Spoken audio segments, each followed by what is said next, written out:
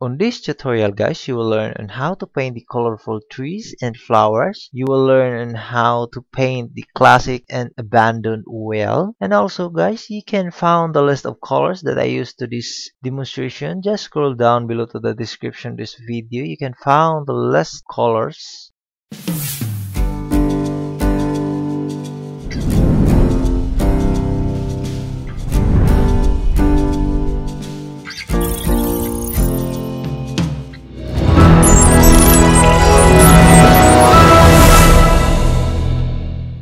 Guys, please subscribe to my channel for more free painting tutorial in the near future.